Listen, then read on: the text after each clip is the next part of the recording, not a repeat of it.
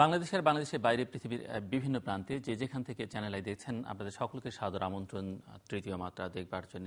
প্রিয় দর্শক, আগামী পহেলা অক্টোবর চ্যানেল আই ষোলো বছরে পা দিচ্ছে।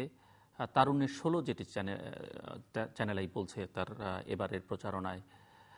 এবং শুধু চ্যানেল আই নয় বাংলাদেশের রাষ্ট্রীয় নিয়ন্ত্রণাধীন বাংলাদেশ টেলিভিশন সহ এখন ছাব্বিশটি টেলিভিশন চ্যানেল কাজ করছে। বেশ কয়েকটি রেডিও স্টেশন কাজ করছে। এবং জাতীয় এবং স্থানীয় পর্যায়ে মিলিয়ে আঞ্চলিক পত্রিকা সহ অসংখ্য পত্রিকা, বাংলাদেশে দৈনিক পত্রিকা, তার মধ্যে সাপ্তাহিক পাক্ষিক হিসেব ধরলে সেটিও হিসেব করে বের করা খুব দূর হয়তো হবে। এরই মধ্যে জানেন যে আপনারা জাতীয় সম্প্রচার নীতিমালা করা হয়েছে, সরকারের দিক থেকে একটি গেজেট নোটিফিকেশন হয়েছে তার নানা ধরনের ক্রিয়া প্রতিক্রিয়া সংবাদ মাধ্যমের বিভিন্ন মহল থেকে করা হয়েছে। এটি আইন করবার কথা। আইন এখনও প্রণীত হয়নি। কবে হবে সেটি নিশ্চিত নয়।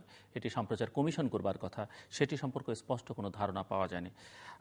অনেক দিন ধরেই আলোচনা নানান মহল থেকে হচ্ছে যে, আসলে টেলিভিশনে যা প্রচারিত হচ্ছে, কি প্রচারিত হচ্ছে? সংবাদে, অনুষ্ঠানমালার মধ্যে, রেডিওতে যা প্রচার করছে বা সংবাদপত্রে যা ছাপা হয়, কতটা যৌক্তিকভাবে ছাপা হয়? নীতিমালাটা যদি সেই বিবেচনা থেকে করা হয়, তাহলে এক এক ধরনের কথা। আর সেটি যদি নিয়ন্ত্রণ করবার জন্য করা হয় বা সরকার বা কোনো বিশেষ গোষ্ঠীর স্বার্থে করা হয়, তাহলে অন্য বিবেচনা। মূলত এইসব বিষয় নিয়ে আজকে আমরা কথা বলবার চেষ্টা করব। আর কথা বলবার জন্য আমার আজকের অতিথি বায়বর্ষ আছেন বাংলাদেশের সিনিয়র সাংবাদিক, আমাদের অর্থনীতি সম্পাদক নাইমুল ইসলাম খান। এর আগে বেশ কয়েকটি জাতীয় দৈনিক সম্পাদনা করেছেন তিনি।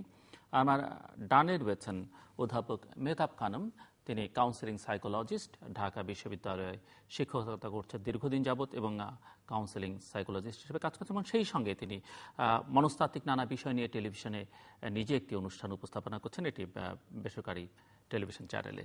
স্বাগত আপনাদের দুজনকে স্টুডিওতে। অধ্যাপক মেহতাব খান আপনার কাছ থেকে একটু শুনতে চাই যে একজন সাইকোলজিস্ট হিসেবে, একজন দর্শক হিসেবে প্রথমে যদি বলি যে টেলিভিশন আপনি বাংলাদেশের টেলিভিশনগুলোতে যা প্রচারিত হচ্ছে নাটক বলি অন্যান্য অনুষ্ঠান বলি বা সংবাদ বলি আপনি কীভাবে দেখেন? চ্যানেল আইও আসতে পারে আলোচনার মধ্যে? হ্যাঁ শুধু চ্যানেল আইকে কেন্দ্র করে না আমি বলছি সামগ্রিকভাবে কি দেখেন? আমি বলছি যে আপনার মনে হয় যে চ্যানেলের বিষয়ে কোনো আলোচনা করা দরকার? আপনি ঠিক আছে সেটা যদি আসে পরে আসবে বাট আমি মোটামুটি শুনি আমি টেলিভিশনে যে কথাবার্তাগুলো হয় যে আমরা টক শো গুলো আজকাল খুবই পপুলার হয়েছে সেগুলো শুনি নিউজগুলো খুব ফলো করি। তো আমার কাছে মনে হলো যে সম্প্রচার নীতিমালা নিয়ে গত কয়েকদিন ধরে বেশ সবকটা চ্যানেলেই এখানে তৃতীয় মাত্রাতে হয়েছে এবং অন্যান্য চ্যানেলেও যথেষ্ট ডিসকাশন হয়েছে এবং বেশ আমি মনে করি যে বিস্তারিত আলোচনা হয়েছে এবং একদম পয়েন্ট ধরে ধরে যেগুলোর ব্যাপারে আপত্তি আছে সেগুলো তুলে ধরে খুব মানে ডিটেইল ডিসকাশনটা আমি ফলো করেছি। একটা জিনিস আমি একদমই আসতে দেখিনি সেটা হচ্ছে যে নীতিমালায় এই যে আমাদের মানসিকতার উপরে যে টেলিভিশনের নিউজ বলি বা আমাদের নিউজের যে নিউজের সঙ্গে যে কাভারেজগুলো ভিডিওগুলো আমরা দেখছি ভিডিও ফুটেজগুলো দেখছি আমরা যে যে টক শোতে আমি চ্যানেল আয়ের প্রসঙ্গ এখানে আনতে পারি যে টক শোতে আমরা যখন একটা খুব উত্তপ্ত বাক্য বিনিময় দেখছি এবং সেখানে কিন্তু আমার কাছে মনে হয় যে আমরা ইয়াং জেনারেশনকে আসলে কি দিচ্ছি সেগুলোর মাধ্যমে। যে কারণ আমাদের তো কমিউনিকেশন স্কিলসও শিখতে হবে এবং এই যে অনেক কিন্তু তথ্য চলে আসছে এই বাক্য বিনিময়ের মধ্যে দিয়ে কিন্তু শেখারও অনেক কিছু আছে পজিটিভ জিনিস অবশ্যই আছে। তবে একটা জিনিস আমার কাছে সবসময় মনে হয় যে আমরা দুপক্ষ, দুটো দলের মানুষ বসেছি বা দুটো মতামতের মানুষ বসেছি, আমরা যে পারস্পরিক শ্রদ্ধা বোধটা বজায় রেখে যে একটা কনস্ট্রাকটিভ ডিসকাশন করা, এই জায়গাটা মনে হয় সাংঘাতিকভাবে মিসিং তো এটা থেকে যদি আমরা মানে কিছু পেতে চাই তাহলে কিন্তু কিছু পাবো না নেগেটিভটাই পাবো। যে বোধহয় আমাদের ডিসকাশনগুলো ডিবেটগুলো বোধহয় এরকমই হয়। আমরা পরস্পরকে আক্রমণ করছি আমরা খুব বেশি ব্লেম গেম খেলছি দোষারোপের জায়গাটাতে খুব রয়েছি। শুধু রাজনীতির অঙ্গনে আমরা এমনিতেও কিন্তু আমাদের সামাজিক কালচারেও কিন্তু আমি দেখছি যে আমাদের খুব একটা ব্লেম গেম খেলার একটা প্রবণতা রয়েছে। সেটারই একটা প্রতিফলন আমরা মিডিয়াতে দেখছি। তো যখন এই জিনিসগুলো এই ধরনের বাক্য বিনিময়গুলো আমাদের অ্যাডোলেসেন্সরা আমাদের ইয়াং জেনারেশনটা দেখছে তখন তারা এখান থেকে কি শিক্ষা নিচ্ছে? যে এটাই কি আসলে কথা বলার ধরন? আমরা কি এরকম করি? অনেক অনেকগুলো টক শো কিন্তু শেষ হয় ঝগড়া দিয়ে। তো সেটা সেখানে আমার একটা বিশেষ আপত্তি আছে as a mental health professional যে আমাদের তো মানে সুস্থ জিনিসগুলোকেই উপস্থাপন করা উচিত। এবং আমাদের শিখতেও হবে। স্কিলগুলো কিন্তু ভীষণ কাজে লাগে। মানুষের সমস্ত জীবনে কাজে লাগে। পরিবার থেকে শুরু করে সমাজে কর্মক্ষেত্রে সব জায়গাতে কিন্তু পারস্পরিক শ্রদ্ধাবোধটা বজায় রেখে আমার মতামতটা প্রকাশ করা। মানে যেটা আমরা বলি we can always agree to disagree আমাদের যে এগ্রি করতে হবে এমন কোনো কথা নেই। বাট সেখানে শ্রদ্ধার খুব অভাব আমি লক্ষ্য করছি। আর এর বাইরে যদি টক এর বাইরে নিউজ নিউজে আমি বলব হ্যাঁ নিউজের যে কাভারেজগুলো হচ্ছে সেখানে ভীষণ ভায়োলেন্স দেখানো হচ্ছে। এবং ভায়োলেন্সগুলো এমন পর্যায়ে যে মানে রক্তাক্ত করে দিচ্ছে একজনকে আরেকজন মেরে সেটা কিন্তু একদম ক্লোজ আপে দেখানো হচ্ছে। ডেড বডিগুলো খুবই আমরা ক্লোজ আপ ইয়ে দেখতে পাচ্ছি ফুটেজ দেখতে পাচ্ছি। এবং আমি দেখি যে বেশ কিছুক্ষণ ধরে ক্যামেরা সেখানে রাখা হয়েছে। এবং আমি নিজেও কিন্তু কথা বলেছি যেহেতু একটা বেসরকারি চ্যানেলে আমি প্রোগ্রাম করি আমি হেড অফ নিউজের সঙ্গে কথা বলেছি। আরেকদিন আরেকটা চ্যানেলকে আমি ফোন করতে চেয়েছিলাম মানে আমি নিজে ট্রমাটাইজড হয়ে গেছি একটা সিন দেখে। তো এরকম বহু সিন কিন্তু দেখানো হচ্ছে বিশেষ করে অবরোধের সময় যে ঘটনাগুলো ঘটেছে যে পুড়িয়ে মানুষ মারা হয়েছে। বার্ন ইউনিটে গিয়ে যখন ছবিগুলো তোলা হয়েছে পোড়া দেহ মানুষগুলো কাতরাচ্ছে সেখানে একেবারে ক্যামেরা কাছে কাছে নিয়ে কিন্তু দেখানো হচ্ছে। তো এতে করে তো নানান রকম প্রতিক্রিয়া মানসিক প্রতিক্রিয়া আমাদের উপরে হচ্ছে আমরা যারা বড়। আমি চিন্তা করছি যে বাচ্চারাও তো দেখছে এবং নিউজগুলো কিন্তু বারবার হয়। এমন যদি হতো যে একবার দেখানো হয়েছে আমি বাচ্চাটাকে সরিয়ে দিলাম। মানে যেটা বিদেশে অনেক রকম প্যারেন্টাল গাইডেন্স থাকে যে বাচ্চাদের নিয়ে এগুলো না দেখার জন্য। কিন্তু আমাদের প্যারেন্টসরাও তো সচেতন নয়। যে তারা যে বাচ্চাদেরকে সরিয়ে দেবেন বা চ্যানেলটা চেঞ্জ করবেন তারা নিজেরাও কিন্তু দেখতে চাচ্ছেন এসব জিনিস। তো আমার শুধু ভয় হচ্ছে যে বাচ্চাগুলো বড় হচ্ছে বাংলাদেশে বা যারা আগামীতে নেতৃত্ব দেবে বা একটা ভালো পথপ্রদর্শক হিসেবে কাজ করবে তাদের জন্য কিন্তু এটা খুব সুস্থতা বয়ে আনার কথা না। যেহেতু সংবাদ এবং টক শো নিয়ে কথা বললেন টেলিভিশনের অন্যান্য অনুষ্ঠান সম্পর্কে আপনার কোনো অবজারভেশন আপনি এই স্টেজে একটু আলোচনা করলে আমরা আমি বিজ্ঞাপন নিয়ে কথা বলতে চাই। বিজ্ঞাপনগুলোর মধ্যে অনেক কিছু আপত্তিকর ব্যাপার আছে যেটা মেয়েদেরকে খুব শ্রদ্ধা যেখানে দেখানো হচ্ছে না যেগুলো কিছু কিছু আবার বন্ধও করা হয়েছে। তো তারপরেও আমি বলব যে বিজ্ঞাপনগুলো ভীষণ কেয়ারফুলি করা উচিত। আমি মনে করি আমাদের বিজ্ঞাপনগুলো না অসম্ভব নয়জি মানে এত সাউন্ড যে কমিয়ে দিতে হয় সাউন্ড ওই সময়টাতে। প্রোগ্রামের পরে যখন বিজ্ঞাপনটা শুরু হয় রীতিমতো মনে হয় যেন খুব ডিস্টারবেন্স হচ্ছে। মাথায় ভীষণ একটা প্রতিক্রিয়া সৃষ্টি হচ্ছে। এবং অনেক মায়েরা বিজ্ঞা যে বিজ্ঞাপনগুলো বাচ্চারা পছন্দ করে তাদেরকে সেগুলো দেখিয়ে খাওয়াচ্ছেন। হ্যাঁ? তো সেই সবগুলো বিজ্ঞাপন কিন্তু শিশুদের জন্য আমি মনে করি খুব উপযোগী না।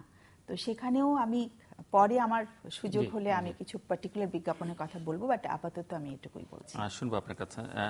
মিস্টার নাইমুল ইসলাম খান আপনি সংবাদপত্রের সঙ্গে আছেন দীর্ঘকাল ধরে। টেলিভিশনের সঙ্গে এখন টেলিভিশনের পর্দায় প্রায় নিয়মিত আপনাকে দেখা যায় টক শোর আলোচনা করলেন মেহতাব খানম।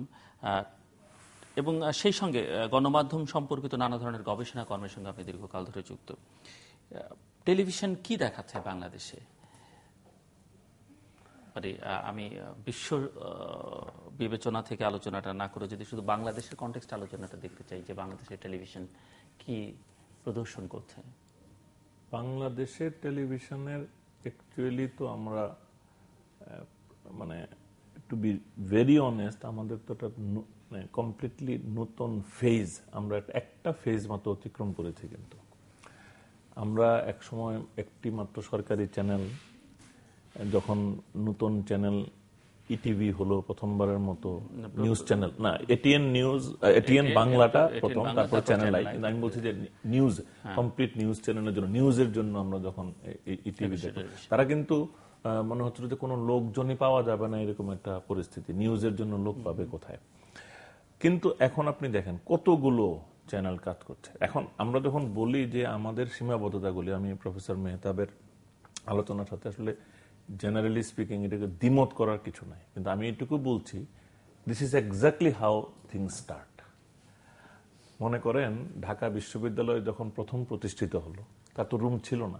এখন আপনি যদি ওই দিনের, ওই দিনে বসে আলোচনা করেন যে এটা শিক্ষার পরিবেশ নাই লাইব্রেরি নাই, বই নাই উই ক্যান ডিসকাস কিন্তু বাস্তবতা হচ্ছে, বাংলাদেশের প্যাটার্নটা এরকম, বাংলাদেশের উন্নয়নগুলি এগুলি হয়। আমি কুমিল্লা শহরের ছেলে, কুমিল্লায় মেডিকেল কলেজ করা হয়েছে। আমরা হাস্য- হাস্যকর মেডিকেল কলেজ বলতে কোনো ইনফ্রাস্ট্রাকচার নাই।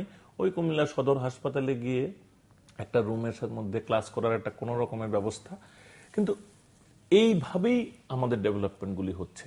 আমরা যখন এক সময় দাঁড়াই আমাদের প্রতিটি প্রাইভেট চ্যানেলেরও শুরুর দিকের বিশেষ করে আপনি যদি উত্থান দেখেন কি রকম লিমিটেড ফিজিক্যাল ফেসিলিটিস নিয়ে এই চ্যানেলাই শুরু হয়েছে ইফ ইউ কাইন্ডলি রিমেম্বার তখন আপনি বুঝবেন যে আজকে আমি যে স্টুডিওতে বসে কথা বলছি, এইরকম একটা স্টুডিও যখন আমি চ্যানেল আইতে সংবাদপত্র বিষয়ক একটা প্রোগ্রাম করতাম অনেস্টলি স্পিকিং আমরা স্বপ্নও দেখি নাই কিন্তু, ওই দিন স্বপ্নও দেখি নাই। তো আমি যেটা বলছি যে আমাদের ধাপে ধাপে হচ্ছে। আজকে আমরা এই আলোচনাটা করছি ten years down the line একই টপিকে আমাদের ডিসকাস করতে হবে না, এটা আমি শিওর কারণ আমাদের তখন এই ইনফ্লেশনারি যে সমস্যাগুলি, এগুলি কেটে যাবে। আমি ডক্টর প্রফেসর মেহতাবের সাথে এটা এগ্রিড আমরা আমি সংবাদপত্রে কাজ করি কিন্তু ওই যে জেন্ডার ইন মিডিয়া ফোরাম আমরা এটা করেছিলাম সেখানে আমরা ওই যে বিজ্ঞাপনের কাজগুলি এগুলি তো আমরা অনেক কাজ করার চেষ্টা করেছি। এবং ওনার সাথে আমি একমত কিছু কিছু বিজ্ঞাপন যেমন আমার মনে আছে আমরা দলে বলে ল্যাব এডের কাছে গেলাম মানে যে ছেলেরা পারে, এরকম একটা বিজ্ঞাপন ছিল। ওই বিজ্ঞাপনটা সে কিন্তু চেঞ্জ করেছে পরে। আমার কথাটা হলো যে আমরা, আমাদের কিন্তু সব দিক আছে। এই যে সাংবাদিকতার উইকনেস এই যে আমরা কথা বলতে উত্তেজিত হই, এইটা এসেনশিয়ালি আপনি যদি ইন্ডিয়ান চ্যানেলও দেখেন, আমি যেহেতু নিয়মিত দেখি, আমি বুঝি, আমি কিন্তু দেখি ওখানেও হট্টগোল হয় ওইখানেও ঝগড়াঝাটি হয়। ওইখানে আবার ভালো কথা হয়। আমাদের এখানে ভালো কথা হয়। আমাদের এখানে আমি এটা কারোর সাথে একমত হব না যে আমাদের প্রতিটি টক শো আমি বলব majority of the talk show কিন্তু অত্যন্ত অমায়িকভাবে হয়। মেজরিটি আমি একদম নিশ্চয়তার সাথে বলতে পারি, আপনারা যে কোনোভাবে পর্যবেক্ষণ করে দেখবেন। এমনকি ধরেন আমরা নাম ধরেও যদি বলি যে উল্লেখযোগ্য যে কতগুলি অপ্রীতিকর সিচুয়েশন হয়েছিল, সেই ব্যক্তি গণ ওই ব্যক্তিরা, ওই শাহজাহান খান বলেন আর যেই হোক তারাও কিন্তু পরবর্তীতে এবং পূর্বে আরও অনেক টকশোতে অনেক অংশগ্রহণ করেছে। ঠিক ওই মাত্রার সমস্যা তারা তৈরি করে নাই। পরেও অনেক সময় করে নাই, আগেও করে নাই। সুতরাং আমাদেরকেও একটু সময় দিতে হবে। আমার মনে আছে, আমি যখন সংবাদপত্র নিয়ে প্রথম টেলিভিশন প্রোগ্রাম করতে গেছি ইটিভিতে টু বি ভেরি অনেস্ট ঢুকার আগে আমাদেরকে ওরিয়েন্টেশন দিত, বলতো, এক, এই এই শব্দগুলি বলেন না। এটা হলো হিসিং সাউন্ড হয়। টেলিভিশনের জন্য ভালো না। আপনি এই এই শব্দগুলি বলেন না, এগুলি মানুষ পছন্দ করবে না। মানে যেগুলি একটু তির্যক কমেন্ট কতগুলি শব্দ, যেগুলি আশঙ্কা করতো, এগুলি রিকোয়েস্ট করে দিত। আমি তো মনে করি বাংলাদেশের ব্যাপক সংখ্যক রাজনীতিকের প্রশিক্ষণ হয়ে গেছে গত এক দেড় দশকের যে টেলিভিশন অভিজ্ঞতার কারণে। আপনি যদি কাইন্ডলি এই একই রাজনীতিবিদ মানে দেড় দশক আগে কীভাবে কথা বলতো আর এখনকার কথা বলা, বা শুরুর দিকের কথার সাথে এখনকার কথা যদি আর্কাইভ থেকে নিয়ে দেখেন, আমি বলব যথেষ্ট উন্নতি হচ্ছে। কারণ তারাও এখন বুঝতে পারে যে টেলিভিশনে করাটা ঠিক না। কিন্তু কখনো কখনো করে ফেলে। এগুলি কেন করে? এগুলি তো আমাদের আবার আরও ভাবতে হবে যে আমরা, আমাদের জেনারেশন কি স্কুল কলেজে আমরা সেইভাবে আসলে শিখে, পড়ে, বুঝে বড় হয়েছে? আমাদের ফ্যামিলি থেকে কি আমাদেরকে সেই রকম প্রশিক্ষণ জেনারেলি স্পিকিং দিতে পেরেছে। আমার এখানটাতেই বক্তব্য। বা অনেক ফ্যামিলিতে কি দেখে? বাবা মাই হয়তো হ্যাঁ ফ্যামিলি ভায়োলেন্স আমার আমার বক্তব্যটা সেই জায়গাটাতে। যেহেতু আমাদের কালচারে আমাদের সোসাইটিতে আমাদের ফ্যামিলিতে এই ধরনের চর্চাগুলো নেই যে আমি বড়দের সাথে কীভাবে কথা বলব বড়রা ছোটদের সাথে কীভাবে কথা বলবে একটা মেয়ে একটা ছেলের সাথে কীভাবে কথা বলবে স্বামী তার স্ত্রীর সাথে কীভাবে সেগুলো কিন্তু কোথাও শেখানো হয়নি। আমাদের আবেগ কি করে নিয়ন্ত্রণ করতে হবে যেগুলো লাইফ স্কিলস। হ্যাঁ যেগুলো ডাব্লিউএইচও দশটা লাইফ স্কিল আইডেন্টিফাই করেছে যেটা স্কুল বুকসেও এখন ইনকর্পোরেটেড হচ্ছে বাট আই এম শিওর টিচাররা হয়তো ওটা পড়াতে গিয়ে একটু অসুবিধায় পড়বেন। কিন্তু সেটা যেহেতু কোথাও নেই মিডিয়া তো একটা বড় জায়গা যেখান থেকে একটা সমাজ একটা কালচার কিন্তু তৈরি হচ্ছে তাই না? আমি চাচ্ছি যে আমাদের কালচারাল কনটেক্সটে আমরা মিডিয়া থেকে আরও সুস্থভাবে কীভাবে এই ধরনের ইস্যুসগুলো তুলে ধরতে পারি সেটার চেঞ্জের জন্য কিন্তু কথা বলতে হবে চেঞ্জের জন্য কিন্তু গবেষণা করতে হবে। একটা চর্চার মধ্যে দিয়ে পরিবর্তন আসে আমি আপনার সাথে দ্বিমত পোষণ করছি না কিন্তু আমরা কিন্তু প্রফেসর মেহতাব আমি একটা কথা বলি আমি কিন্তু শুধু চর্চার কথা বলি নাই আমি বলছি কিন্তু আমরা কিন্তু ডিসকাসও করছি এটা আমাদের ক্রিটিসিজমটাও চলতে থাকবে আমি কিন্তু এটাই বলেছি যে এই যে আমরা জেন্ডার ইন মিডিয়া ফোরাম করেছি আমরা তো একটি একটিভ আছি তো আমরা তো কথা বলছি। আমরা এমনকি জেন্ডার ইন মিডিয়া ফোরামে একটা উদ্যোগ নিয়েছিলাম যে ভাষার বিকল্প দেওয়া। অনেকে বলে যে আমি কি বলব এটা? এটার পরিবর্তে শব্দটা কি হবে? যেটা বললে জেন্ডার সেন্সিটিভ হবে। এটা তো অ্যাভেলেবল নাই। নাই দেখে এটার জন্য আমরা একটা মানে একটা কিছু ভোকাবুলারি তৈরি করার জন্য একটা উদ্যোগ নিয়েছিলাম। এটা অবশ্য এগোচ্ছে না এখনও কিন্তু আমরা চেষ্টা করছি। আমার কথা হচ্ছে এইরকম কিন্তু বিচ্ছিন্নভাবে আমরা অনেকে ফিল করি যে আমাদের করণীয় আছে এবং আমাদের সাধ্যমতো করা হচ্ছে, আমাদের সাধ্যেরও তো কনস্ট্রেন্ট আছে। সুতরাং আমি কেবলমাত্র বলছি না যে এটা জাস্ট করতে করতে করতে করতে হবে। আসলে একসাথে সবই হচ্ছে। করতে করতে মানে আমরাও টেলিভিশনে করছি, আবার কেউ কেউ আবার অন্যান্য উদ্যোগগুলিও নিচ্ছেন উল্লেখ ইয়ে করে। এবং ধরুন পিয়ার প্রেশার পিয়ার ক্রিটিসিজম একটা গুরুত্বপূর্ণ ভূমিকা রাখে। আমি যখন একটা রিপোর্ট করি করে পরের দিন যখন আমি সাংবাদিকদের মধ্যে মিশি যদি আরেকজন সাংবাদিক আমার ভুল ধরিয়ে দেয় এটা যত ইফেক্টিভ হয় এটা কর্তার কথারও অত ইফেক্টিভনেস হ্যাঁ, নাই। যে প্রেস ক্লাবে গিয়ে বা রিপোর্টার সিনিটিতে গিয়ে সে বিব্রত হলো যে তার একটা বড় মিস্টেক সো এইগুলি কিন্তু আমাদের চলে। আমি এই জায়গাটাতে আসতে চাই যে আমরা যখন আজকে সম্প্রচার নীতিমালার প্রসঙ্গটা এসছে সম্প্রচার নীতিমালার আগেই কিন্তু এখন দেখেন সম্পাদক পরিষদ তাদের নিজেদের একটা নীতিমালা করার কথা বলছে। এটা বহু আগেই করা দরকার ছিল। ইনফ্যাক্ট আমাদের সম্পাদকরা, আমাদের টেলিভিশনের কর্তারা যদি সকলে মিলে নিজেদের জন্য একটা কিছু তৈরি করে ফেলতেন যে আমরা এটা ফলো করব, তাহলে সরকারের দিক থেকে আর অজুহাতও থাকতো না কিছু করার।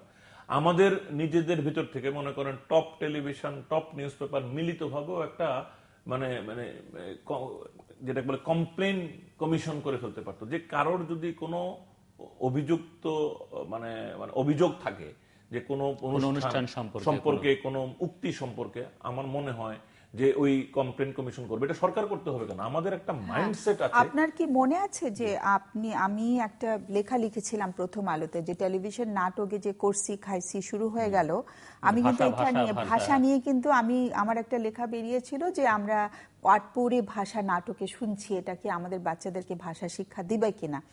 আপনি কিন্তু আপনার অফিসে আমাদের একটা একটা মিটিং অ্যারেঞ্জ। করেছিলেন বহু আগে। এবং আমার ওই লেখাটার পেছনে কিন্তু আরও আটটা লেখা বেরিয়েছিল। এবং যারা এসব নাটকে শুরু করেছেন তারাও এখানে উপস্থিত ছিলেন। তো এই ধরনের ডিসকাশনগুলো হচ্ছে কিন্তু আমার মনে হয় এই ধরনের ডিসকাশনগুলোর একটা মানে কোথাও কম্পাইলড হওয়া উচিত যে এই ডিসকাশনগুলোর এই ফলাফল হচ্ছে এবং আমরা মেজরিটি এটা মনে করছি। আপনি একটু খেয়াল করেন তো ওই প্রকোপটাকে একটু কম না এখন? এখন কিন্তু অনেক অনেক হ্যাঁ। কমেছে এবং কমেছে মানে এখন আমি দেখি উদ্যোগটা এরকম যদি মানে নাটক থেকে সেই ভাষা কিন্তু ছড়িয়ে পড়েছিল সর্বত্রই কিন্তু। অনেক কিছু। ছেলেমেয়েরা না, বাইরে কথা বলতে হবে। ওইভাবেই কথা কিন্তু এইগুলির প্রকোপটা কিন্তু কমেছে। কমেছে এই জন্য আমি একটা জিনিস বলি আমি ভয় পাই যে আমরা যদি একটু বিকল্পের সন্ধান না করে যেটা আমরা জেনারেল মিডিয়া ফোরামে কাজ করতে গিয়ে দেখেছি যে আমি বলব যে এটা লিখো না এটা হবে না। এটার পরিবর্তে এই that is the right way তো আমরা যদি বিকল্প দিতে না পারি আমরা কিন্তু তাদেরকে মানে তাদেরকে বিরত করতে পারব না এখন আমার আমরা যখন কিন্তু নাটকের ক্ষেত্রে ভাষার যে কথা অধ্যাপক মেহতাব খান বলছিলেন সেটা তো বিকল্প মানে আগে যেটা চলে আসছিল সেটি তো অনেক মার্জিত ছিল? ভাষা যে আপনি যে বলছেন না যে মিডিয়া অনেক উন্নত হয়েছে কিন্তু আমি তো বলব যে বিটিভি না। না, না, নাটকগুলো অনেক এখানে- ভালো ছিল এখানে আপা আমি বলব যে একটু বোঝার ভুল হচ্ছে আমি আবারও বলছি নাটকে বা যে কোনো ক্ষেত্রেই এই যে কেউ যে আবার নাটকে পরীক্ষা নিরীক্ষা করতে করছে যে নোয়াখালীর ভাষা নিয়ে আমি কিছু করব। না আমি বলছি এটাতে করব এটা করতে গিয়ে আমরা প্রথমটা মানে সুপার এফিসিয়েন্টলি করতে পারব ওয়াই ডু উই থিঙ্ক আমাদের এখানে কিন্তু হবে। আমাদের চলচ্চিত্র শিল্পটাকে ধ্বংস করে দেওয়া হয়েছে এই শুদ্ধতার দাবি দিয়ে। কারণ আমি মনে করি যে একটা মানে গ্রোয়িং সিচুয়েশনে কোনো একটা মিডিয়ার উপর যদি প্রথম দিন থেকে আপনি শুদ্ধতার দাবি চাপিয়ে দেন, তাহলে কি হবে? তাহলে ওই যে একটা, দুইটা, তিনটা করে সে যে চেঞ্জ হবে মানে সে তখন এমন এমন উদ্ভাবনী শক্তি তৈরি হবে অভিজ্ঞতার ভিতর দিয়ে যে, আমি এটা ব্যবহার করব, কিন্তু সেটা আপত্তিকর মনে হবে না। এই এই জায়গাটাতে যেতে হলে তাকে তো কয়েকটা কাজ করতে দিতে হবে। আমাদেরকে ওইটুকু সময়।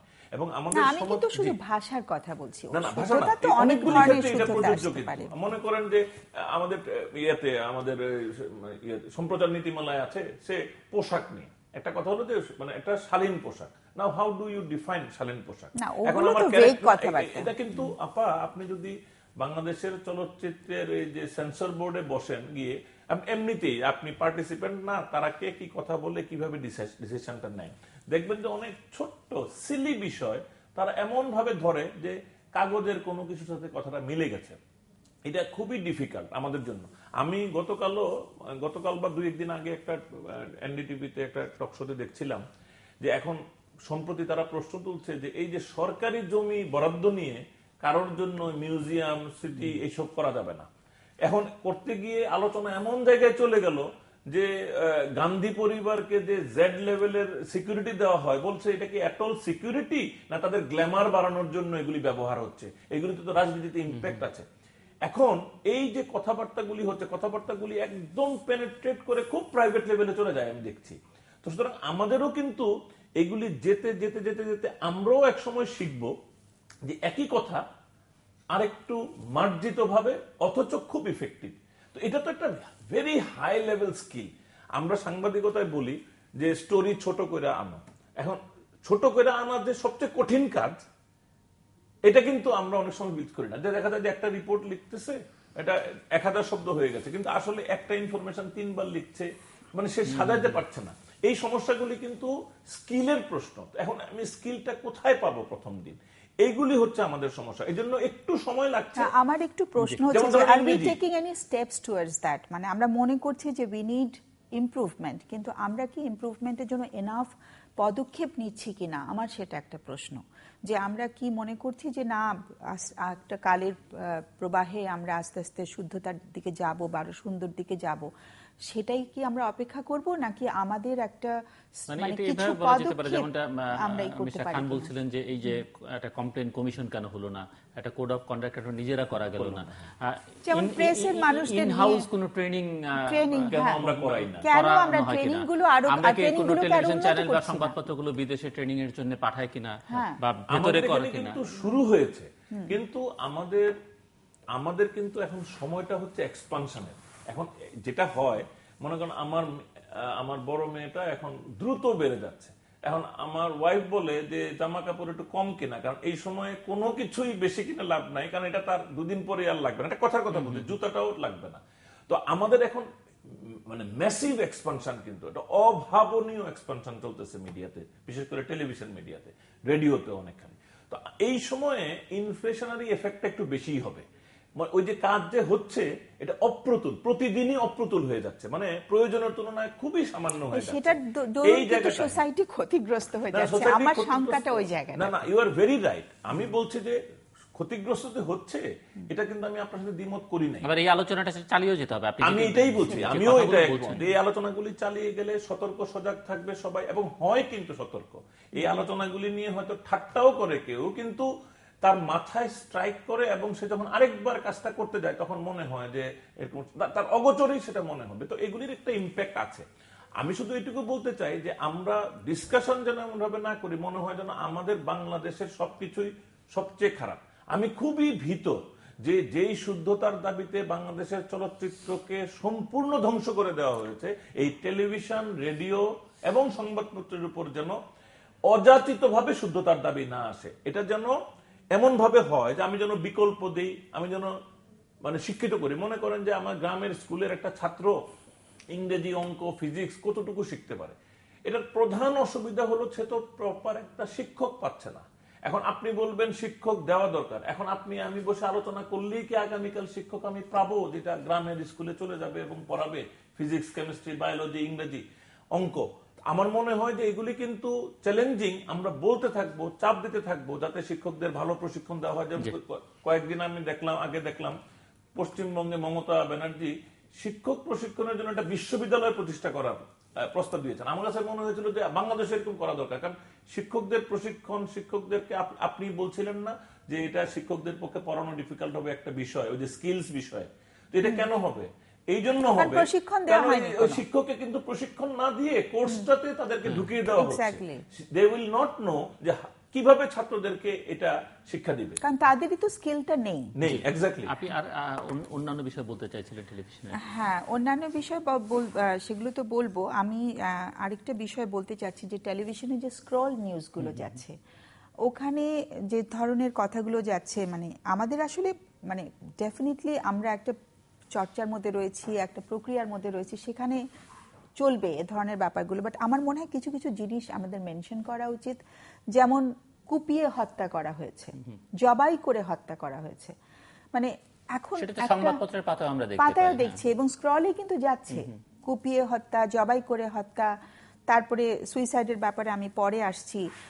কালকে যেমন একটা নিউজ পেপারে আমার মনে হয় চ্যানেল আইয়ের আমি ওই যে যেটা মতিউর রহমান সাহেব করেন আমি ওটা প্রতিদিন ওনার ওই যেহেতু নিউজ পেপারে হেডলাইনগুলো দেখা কালকে বোধহয় আপনি ছিলেন না? তো আমি ওই ওটা মিস করি না সাধারণত কারণ অনেকগুলো নিউজ পেপারের আমার ফ্রন্ট পেজ দেখার সুযোগ হচ্ছে অনেকগুলো নিউজ একসাথে পাওয়া যাচ্ছে। ওখানে দেখলাম যে স্বামী স্ত্রীর কবজি কেটে নিলেন। বড় করে নিউজ দিয়েছে। ওটা তো নিউজ পেপারে পাতা এসছে, কিন্তু আমরা টেলিভিশনের পর্দায়ও কিন্তু একই জিনিস দেখছি। কাজে সম্প্রচার নীতিমালায় কিন্তু এই জিনিসটা যদিও আমরা বলছি যেটা ইলেকট্রনিক মিডিয়ার জন্য করা হয়েছে, কিন্তু প্রিন্ট মিডিয়ার বিষয়বস্তুও তো ইলেকট্রনিক মিডিয়াতে চলে আসছে। এবং বড় করে যখন স্বামী স্ত্রীর কবজি কেটে নিলেন, তখন এটা আসলে মানে কি ধরনের এনকারেজমেন্ট বা রিএনফোর্সমেন্ট হতে পারে যারা ভায়োলেন্ট মনোভাবাপন্ন মানুষ আছেন আমি তাদের এই জন্য? ক্ষেত্রে একটা কথা বলি। এমনিতে কি আপনার কাছে মনে হয় যে ভায়োলেন্সের খবরটা কম ছাপা হলে বা কম প্রকাশিত হলে ভায়োলেন্স কমবে? ভায়োলেন্স হ্যাঁ এটা তো রিসার্চেই বলে। রিসার্চেই বলেছে যে ভায়োলেন্ট প্রোন যে এর দেশগুলো আছে হ্যাঁ এটা একদম একদম বেশ কয়েকটা দেশ নিয়ে গবেষণা করা হয়েছে এবং যেগুলো ভায়োলেন্ট প্রোন কান্ট্রি বা ভায়োলেন্ট প্রোন এরিয়া যেগুলো ক্রাইম বেশি হয় যে এরিয়াগুলোতে সেখানে দেখা গেছে রিসার্চ করে যে যত তারা এগ্রেসিভ জিনিসপত্র দেখছে ভায়োলেন্ট রিলেটেড জিনিসপত্র দেখছে টেলিভিশন মিডিয়া হচ্ছে ভীষণ একটা ডমিনেন্ট রোল প্লে করছে প্রত্যেকটা সোসাইটিতে এটা একদম কালচারাল কনটেক্সটে ভীষণ একটা ইনফ্লুয়েন্সিয়াল জিনিস। তো সেখানে দেখা গেছে যারা অলরেডি ভায়োলেন্স করছে সেই জনগোষ্ঠীর মধ্যে বিশেষ করে ইয়াং জেনারেশনের মধ্যে ভায়োলেন্স অনেক বেড়ে যাচ্ছে। তো যেহেতু অ্যাভারেজে নাকি স্টুডেন্টরা আপনার তিন ঘণ্টা অন অ্যান অ্যাভারেজ টেলিভিশন দেখে কাটাচ্ছে যেটা তারা ফিফটি পার্সেন্ট মর হচ্ছে অন্যান্য কাজের তুলনায়। তারা পড়াশোনা স্টুডেন্ট অবস্থায় তাদের পড়াশোনা করার কথা কিন্তু সবকিছুর চেয়ে ফিফটি পার্সেন্ট বেশি সময় তারা দিচ্ছে টেলিভিশন। টেলিভিশন ভিউইং এ। সো এই টেলিভিশনের কত একটা ইনফ্লুয়েন্সিয়াল রোল আছে একটা সোসাইটিকে মোল্ড করার পেছনে? আমি সেই জন্যই শুনি টেলিভিশন কিন্তু চাইছেন। অনেক ক্রিটিসিজমই আছে। আমি তো এক সময় এই রিসার্চের কথা জানি যে যেই ফ্যামিলিতে টেলিভিশন দেখা হয় না এবং যে ফ্যামিলিতে টেলিভিশন দেখা হয় টেলিভিশন মানে টেলিভিশন ছাড়া ফ্যামিলির ছেলে মেয়েদের ইন্টেলেকচুয়ালি আরও বেশি ইয়ে হওয়ার সুপিরিয়র হওয়ার চান্সেস হায়ার থাকে দেন দোষ কারণ টেলিভিশন সহজে সবকিছু বুঝিয়ে দেয় তার নিজের চর্চা। চিন্তাধারাগুলো কাজ। এখন এইগুলির জন্য তো টেলিভিশনের এক্সপ্লোশন বা এক্সপানশন বন্ধ থাকবে না আমাদের আসলে এটার সাথে একটু অ্যাডাপ্টও করতে হবে টেলিভিশনগুলিকেই কীভাবে মানে মোটিভেট করে কীভাবে প্রোগ্রাম করলে সেখানে তাদেরকে এনগেজিং এবং তাদেরকে ইনোভেটিভ হইতে চিন্তা ভাবনা করতে সব যেন সব যেন এটার মধ্যে রাখা।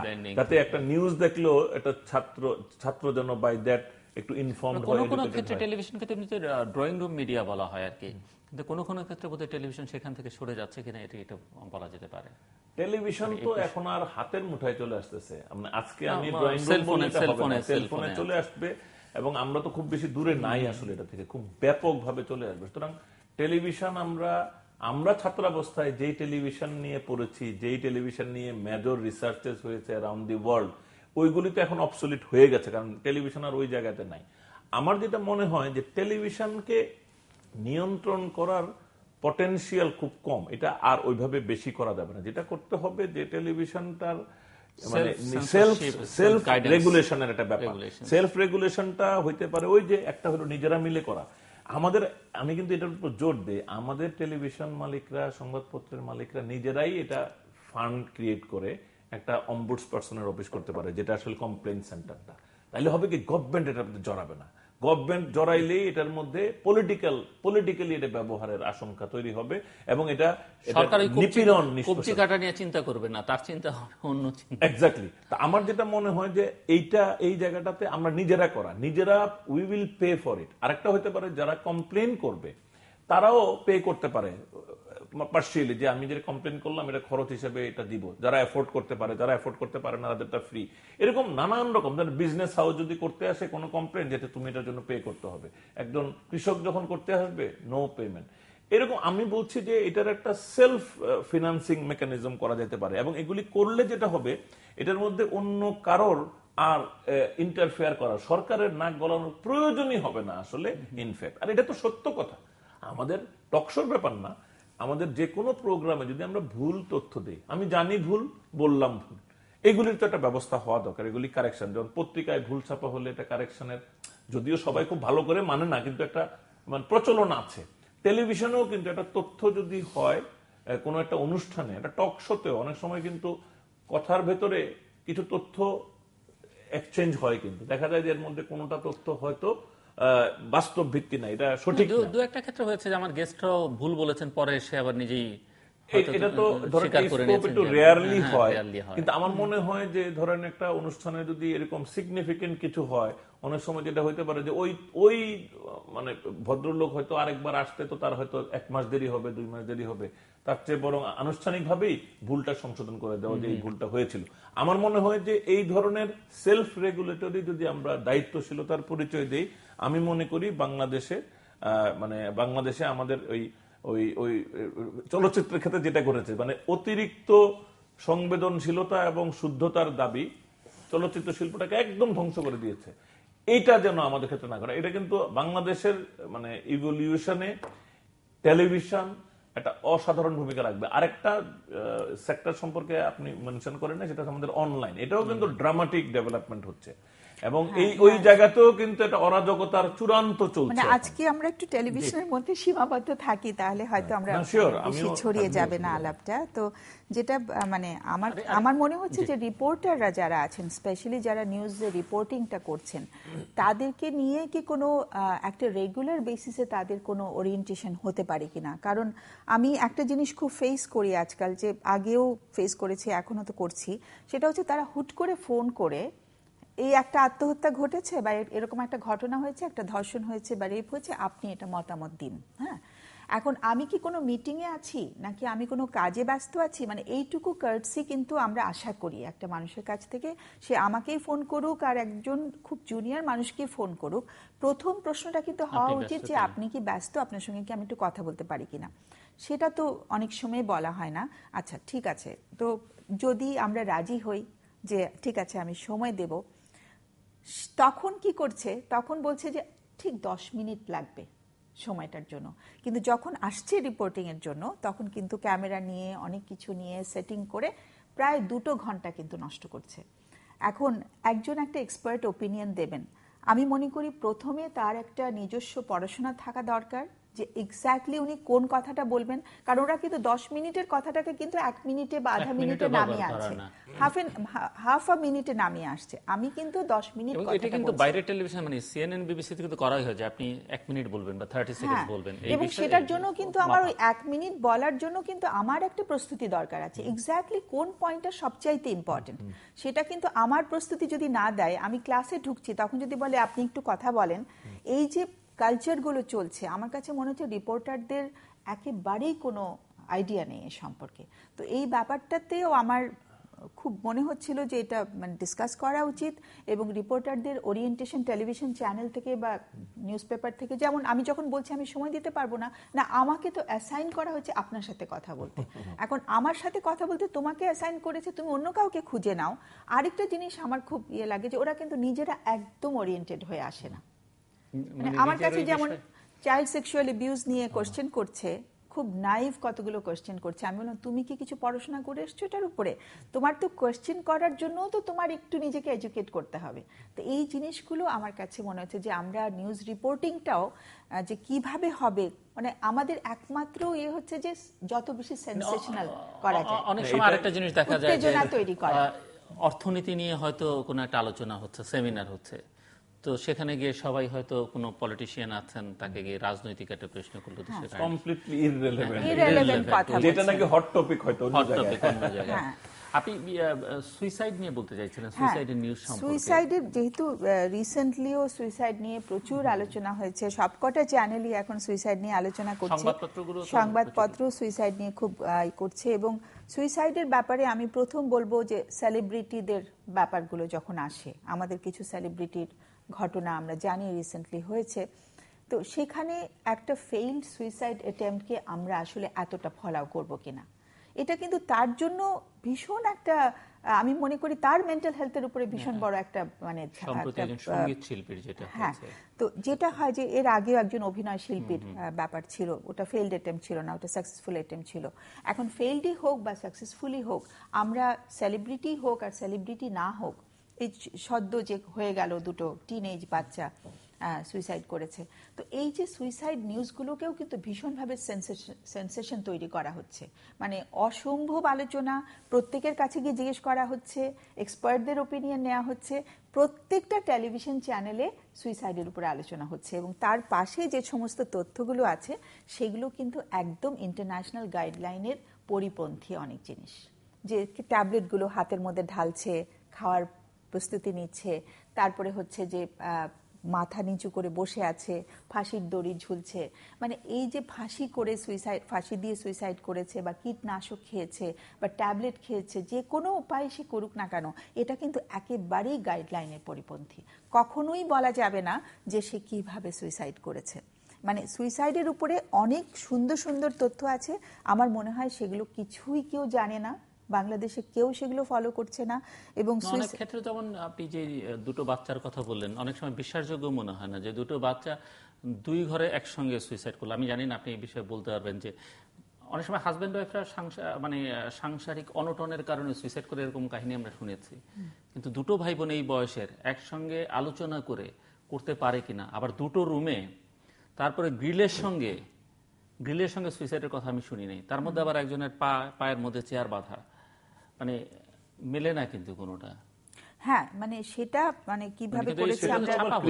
অন্য- সাইড আমি হ্যাঁ। ছাপা হচ্ছে কিন্তু। হ্যাঁ, সেই ইনভেস্টিগেশনটাও হয় না। সেটাই মানে ইনভেস্টিগেশনের রিপোর্টেও বলা হচ্ছে যে কোনোভাবেই যেন ওটা পুলিশ রিপোর্টে যেভাবে ইনভেস্টিগেশন হয় সেভাবে যেন না হয় এবং সুইসাইড নিউজ যখনই আমরা প্রকাশ করব শুধু মারা গেছে এটা বলব অ্যাট বেস্ট বলা যেতে পারে কিল্ড হিমসেলফ অর হারসেলফ এবং বলা হয়েছে যে ওটার সাথে আমাদের যে হেল্পলাইন বাংলাদেশে কিছু হেল্পলাইন কিন্তু হয়েছে যেমন কান পেতে রই বা আরও কিছু হেল্পলাইন এখনও শুরু হয়েছে সে সমস্ত কিন্তু দিয়ে দেবার কথা। কারণ যারা ভালনারেবল এবং এটা একদম এটাও কিন্তু গবেষণায় প্রমাণিত যে যখনই সুইসাইড নিউজগুলো মানে প্রচার হচ্ছে তখন এটার একটা রেটটা বেড়ে যাওয়ার সম্ভাবনা থাকে। বিশেষ করে কেন? আসলে লেখা উচিত ফাউন্ড ডেড কারণ আমরা আসলে আমরা সাংবাদিকতা ওটা হচ্ছে অ্যাট বেস্ট মানে ওই পর্যন্ত শুধু যাওয়া যেতে পারে এটা ইন্টারন্যাশনালি বলা হ্যাঁ হয়েছে হ্যাঁ মানে আসলে লেখা উচিত যে তাকে মৃত অবস্থায় পাওয়া পাওয়া গেছে। কিন্তু তাকে কি মারা হলো আত্মহত্যা করল এটা তো অনেক কিছুর পরে বেরোনোর ব্যাপার। আমরা আলোচনা করতে পারি যে অমুকে এটা বলছে কেসের কথা রিপোর্ট কিন্তু এখন পর্যন্ত বেরোয়নি। বেরোয়নি, বেরোয়নি কিন্তু সব পত্রিকা এটা নিয়ে সুইসাইড কেন সুইসাইড করল কত হ্যাঁ, হ্যাঁ। কাহিনী এটা সুইসাইড কিনা এট অল suicide কিনা। ব্যাপার আছে। আর শুধু ময়নাতদন্তে কিন্তু এগুলি বেরোয় না। আমি একটা কথা বলি ওই যে ভারতীয় সীমান্ত রক্ষীদের অনেক জায়গাতে তারা ওই নীতিটা পালন করে যে এখন আর লেথাল ওয়েপন ব্যবহার করে না রাবার বুলেট ব্যবহার করে। কিন্তু আমি জাস্ট একজন সিনিয়র কর্মকর্তার কাছ থেকে জেনেছি যে এখন লেথাল নন লেথাল ওয়েপনের লেথাল ইউজ কীভাবে? এই রাবার বুলেটই সে হয়তো তার খুব কাছে থেকে চোখের মধ্যে ফায়ার করে দিল। এখন এই রাবার বুলেট চোখে দিলে সে মারা যাবে। তো ইউজ তো হইল নন লেথার কারণ তার কাছে লেথাল উইপল নাই। কিন্তু ধরে এনে যখন এটা করা হচ্ছে পিটিয়ে দুর্বল টুর্বল করে তখন এরকম একটা ব্যবহার। তো এইগুলি আবার ধরা পড়ছে না কেন? কারণ এগুলি প্রপার ওই যে ময়না তদন্তটা হয় না।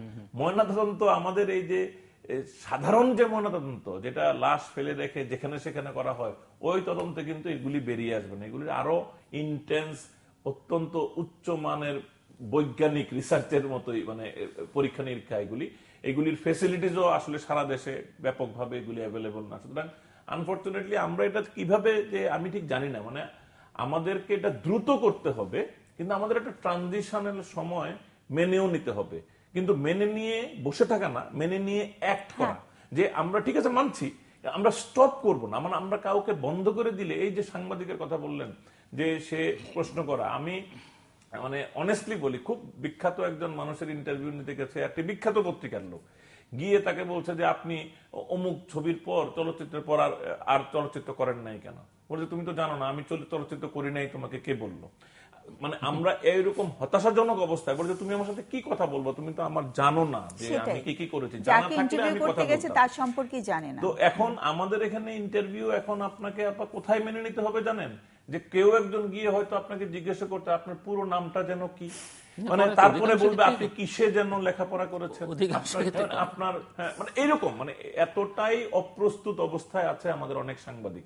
কিন্তু আমি কিন্তু আমি বলছি যে আমাদেরকে এখান থেকে উত্তরণ মানে আপনারা কি প্রশিক্ষণের কথা ভাব মানে ভাবছেন কিনা বা হয় না যে একটা এদের কিন্তু টাইম টু টাইম কারণ এরা কিন্তু প্রফেশন ছেড়ে চলেও যাবে। সবাই কিন্তু এই প্রফেশনে থাকবে না। কারণ শুধু জার্নালিজমের ছেলে মেয়েরা কিন্তু আসছে না রিপোর্টিং এ মানে অন্যান্য ডিসিপ্লিন থেকেও এটাই কিন্তু আরেকটা সমস্যা। মানে আপনি যে প্রশিক্ষণ দিবেন যেই মুহূর্তে প্রশিক্ষিত করলেন সে তখন বেটার অপরচুনিটি না চলে যাক বাট এটা time to time time to time হলে হবে কি যে নতুন মুখগুলোকেও আমরা পাচ্ছি আর কি। সেরকম আসলে কিছু নীতিমালা আমাদের কোনটা সমাজকে সুন্দরভাবে গঠিত গঠন করবে সমাজের জন্য ভালো কিছু উপস্থাপন করবে যেহেতু এটার ভীষণ একটা ইনফ্লুয়েন্স আছে সমাজ গঠনে। সমাজের মতামত তৈরিতে সমাজের কালচারাল মানে ইভলিউশনে সেই জন্য আমার মনে হয় যে এখানে অনেক বেশি মনোযোগ এটা দাবি করে আসলে।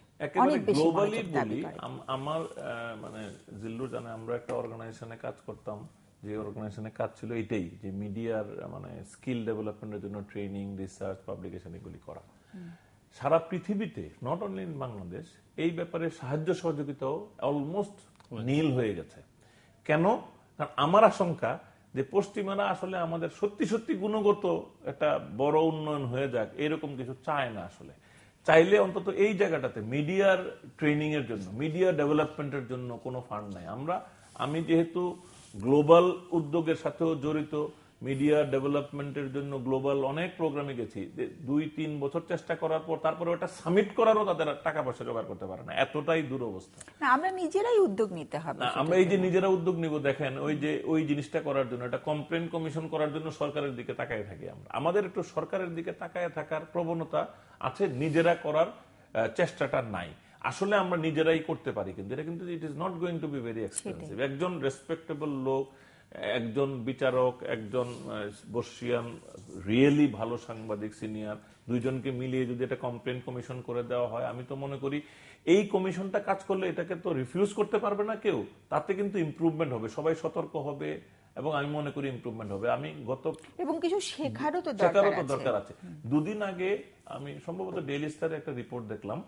যে প্রেস কাউন্সিল রিফর্মের আলোচনা হচ্ছে। কিন্তু প্রেস কাউন্সিলের রিফর্ম মানে হলো এটা সরকারি নিয়ন্ত্রণে থাকবে এবং এটা দিয়ে পানিশমেন্ট বড় বড় পানিশমেন্ট পত্রিকার ডিক্লারেশন বাতিল করে দেওয়া যাবে।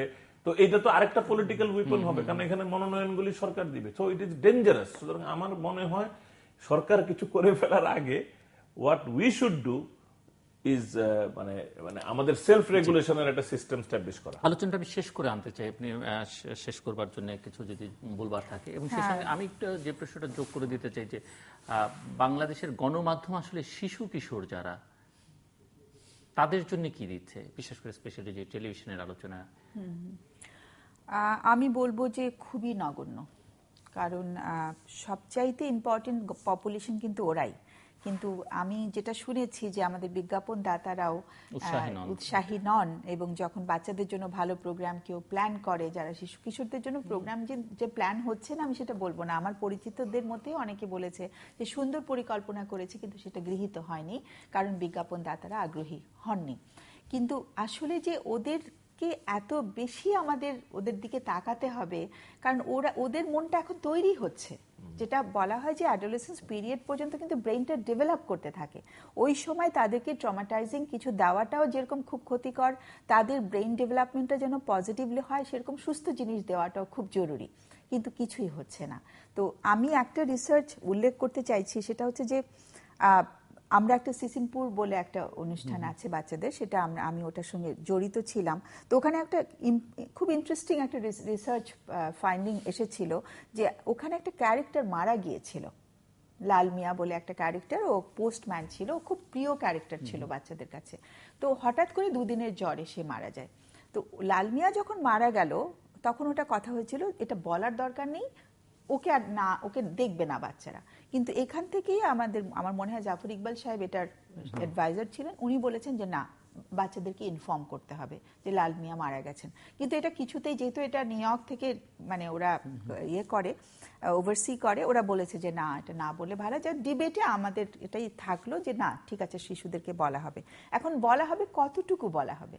সো বলা হলো এইটুকু স্ক্রিপ্টের মধ্যে এইটুকু লেখা হলো যে, লাল মিয়া মারা গেছেন। হ্যাঁ লাল মিয়া কেন আসছেন না? উনি মারা গেছেন। আমার যেটা ডিবেট ছিল ওদের সাথে যে লাল মিয়া কীভাবে মারা গেছেন, সেটাও কিন্তু বাচ্চারা জানার দাবি আছে, রাখতে পারে। কারণ বাচ্চাদের জিজ্ঞেস করতে পারে যে মারা গেছেন কীভাবে? বাচ্চাদের তো অনেক কিউরিয়াস মাইন্ড ওরা কিন্তু প্রশ্নের পরে প্রশ্ন করতে থাকে। ওদের কিউরিয়াসিটি হয়তো পুরোটা স্যাটিসফাই করা যাবে না। কিন্তু আমি ওদের সাথে ডিবেট করেছিলাম নিউ ইয়র্কের সাথে যে আমরা বলতে চাই লাল মিয়া অসুস্থ হয়ে মারা গেছেন। নিউ ইয়র্ক থেকে বলা হলো, অসুস্থ হলে তাহলে তো বাচ্চারা ভাববে সবাই মারা যায়।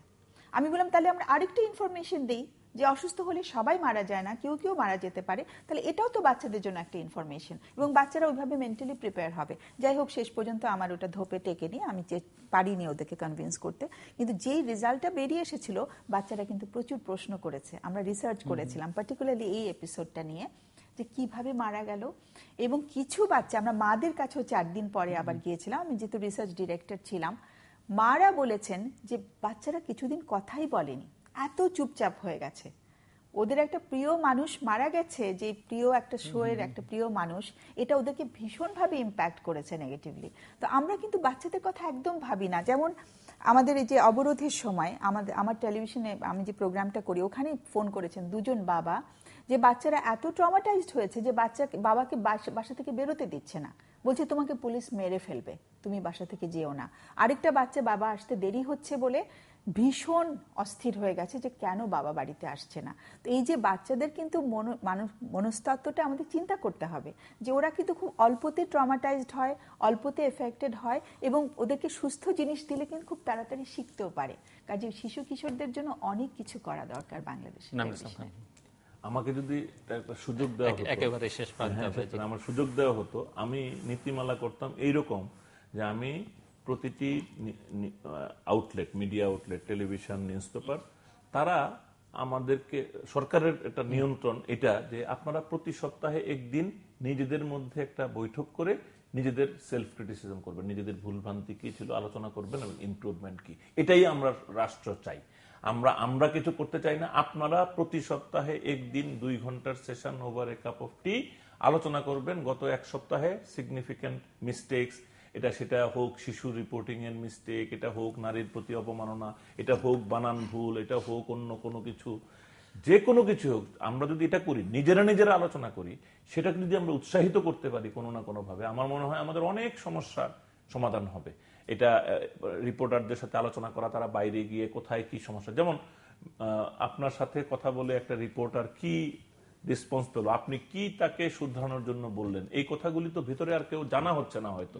কিন্তু এগুলি যদি শেয়ার করার একটা ফোরাম তৈরি হয় ওয়ান্স এ উইক দুই তিন ঘণ্টা, আমি মনে করি এটা আমাদের ট্রেনিং এর চাইতেও সেন্সিটাইজেশন এবং অন্যান্য ইম্প্রুভমেন্টে আরও বিরাট ভূমিকা রাখতে পারে। মূলত আমি যেটা বলতে চাচ্ছি আমাদের নিজেদেরকে অনেক বেশি করে দায়িত্ব নিতে হবে এবং এটা নেসেসারিলি সবসময় খুব একটা এক্সপেন্সিভ বিষয় না। এবং সেন্সেশনাল কতটুকু করব? হ্যাঁ, মানে এগুলি তো তখন আলোচনায় চলে আসবে। এটা যে আমরা আমরা এটা করলাম ভালো অন্য কে কি করল দেশে কি হয় বিদেশে কি হয় এরকম ক্ষেত্রে এই অভিজ্ঞতা নিয়ে আলোচনা করলে আমার মনে হয় প্রতিটি টেলিভিশন উপকৃত হবে কিন্তু এটার জন্য তেমন কোনো এক্সপেন্সেস এর ব্যাপার একেবারেই নাই বলতে কিন্তু আপনি ফর্মাল কিছু প্রশিক্ষণের কথা আমরা ভাবতে না না প্রশিক্ষণের কথা তো আমি আসলে আমি তো একেবারে বাই পেশন প্রশিক্ষক। সুতরাং প্রশিক্ষণের কথা এখানে আমি বলি নাই কারণ এটা এই চেষ্টা তো চলছে। এগুলোর জন্য সাপোর্ট নাই লোকজন এখনও উৎসাহ দেখায় না। আমি বলছি যে this is the minimum most minimal একটা সময় ব্যয় করে মোস্ট মিনিমাল এক্সপেন্ডিচার কোনো এক্সপেন্ডিচার নাই ধরতে গেলে আসলে। এটা যদি করে এটা অর্গানাইজেশনের জন্য খুব ভালো হবে। আর আপনিও ট্রেনিং এর কথা বলছেন আমরাও ট্রেনিং এর কথা বলছি। আমি বলেছি যে এই যে মিডিয়া ওয়াচটা রাখতে হবে ওয়াচ ডগ থাকতে হবে কেউ না কেউ। তারা এটা এই ক্রিটিসিজম গুলি করবে ওয়াচ ডগ হিসেবে এসেছি। হ্যাঁ এটাও ওয়াচডগ রোল এই আলোচনাটা তো ওয়াচডগ এর কাজই হচ্ছে। সুতরাং এটা যদি ফর্মালিও কেউ কেউ করে যেমন আমরা জেন্ডার এন্ড মিডিয়া ফোরাম থেকে করেছিলাম ওই জেন্ডার বিষয়ক কি কি হয়। এই রকম নানামুখী প্রচেষ্টা আমাদের থাকলে এবং সঙ্গে যদি ভেতরে অন্তত এইটুকুও হয়, একটা যদি আমাদের কমপ্লেন কমিশন হয়, আমি মনে করি আমাদের মিডিয়ার অনেক ইম্প্রুভমেন্ট হয়ে যাবে তাতে। দর্শক আমরা অনুষ্ঠানের শেষ প্রান্তে দ্বিতীয় মাত্রা সম্পর্কে আপনারা লিখতে পারেন। ডাকে ইমেল এস এম এস এর মাধ্যমে ইন্টারনেট আমাদের অফিসিয়াল ওয়েবসাইট অথবা সোশ্যাল নেটওয়ার্কগুলোতে যেসব পেজ রয়েছে সেসব পেজে আপনারা আপনাদের মতামত রাখতে পারেন। আর আপনারা আপনাদের মতামতই আমাদের অনুষ্ঠান তৃতীয় মাত্রা আপনি দেখতে পাবেন না। প্রতি বৃহস্পতিবার এবং শুক্রবার বাংলাদেশ আমরা দুটোই বুধবার দুপুর সাড়ে এগারোটা এবং শুক্রবার দুপুর একটা পাঁচ মিনিটে দেখবার আমন্ত্রণ রইল। অধ্যাপক মেহতাব খানম এবং মিস্টার নাইমুল ইসলাম খান অসংখ্য ধন্যবাদ আপনার দুজনকেই। দর্শক মন্ডলী বাংলাদেশে টেলিভিশনের বয়স বাংলাদেশ টেলিভিশন যেটি রাষ্ট্রীয় নিয়ন্ত্রণাধীন আহ, এখনও পর্যন্ত অর্ধশত বছর হয়নি। আর বেসরকারি টেলিভিশন যেগুলো আছে, স্যাটেলাইট চ্যানেল এগুলোর বয়স পনেরো ষোলো বছরের, সর্বোচ্চ ষোলো বছরের ইতিহাস। একটা পরীক্ষা নিরীক্ষার মধ্য দিয়ে যাচ্ছে সব কিছু শুদ্ধ হয়ে যাবে বা এখনই শুদ্ধ হতে হবে, সেটি আশা করাটা সমীচীন নয়। তবে টেলিভিশনের যে প্রভাব সমাজে, ব্যক্তি পর্যায়ে, রাষ্ট্রে, সেটি মাথায় রেখে শুধরানোর অনেক কিছু করবার আছে, আলোচনার মধ্যে এসছে এবং আজকে যে ধরনের আলোচনা হলো, এই আলোচনাগুলো হওয়া উচিত এবং এ থেকে যারা এই মাধ্যমের সঙ্গে যুক্ত, তাদের অনেক কিছু শেখার, অনেক কিছু গ্রহণ করবার রয়েছে। নিজেদের ভেতরে প্রতিটি প্রতিষ্ঠানের প্রশিক্ষণের ব্যবস্থা করা উচিত। তাদের যারা কর্মী বাহিনী আছে, তাদের বিভিন্ন প্রতিষ্ঠান থাকা উচিত। এই প্রতিষ্ঠানগুলোর বাইরে সেখানে অর্থায়ন রাষ্ট্র করতে পারে, আমাদের কর্পোরেট সেক্টর করতে পারে এমনকি সম্মিলিতভাবে গণমাধ্যম প্রতিষ্ঠানগুলোও করতে পারে অংশীদারিত্বের ভিত্তিতে করতে পারে। এই কাজগুলো হওয়া খুবই বাঞ্ছনীয় এবং এটি মাথায় রাখতে হবে যে আমরা যারা কাজ করছে গণমাধ্যমে, বিশেষ করে টেলিভিশনে, তাদের প্রায় সিংহভাগই কিন্তু এখনও পর্যন্ত পেশাদার হয়ে উঠতে পারেনি। পেশাদারিত্ব তো অনেক দূরের ব্যাপার, তার ধারে কাছেও আমরা নেই। দ্বিতীয়ত, এটি মাথায় রাখতে হবে যে দায়িত্বশীলতার পরিচয় টেলিভিশনের দেওয়া দরকার, সেখান থেকে কিন্তু টেলিভিশন চ্যানেলগুলো অনেক দূরে আছে। তবে অর্জন যে নেই, সে কথা বলা যাবে না। অনেক এগিয়েছে।